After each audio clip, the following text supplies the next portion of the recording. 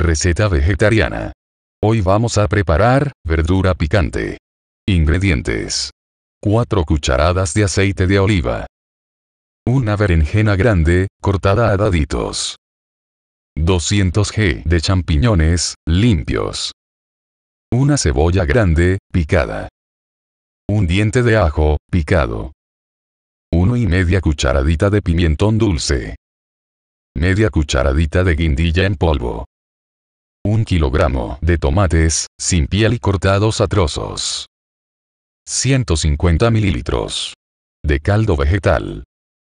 25 g de triángulos de maíz. 1 cucharada de concentrado de tomate.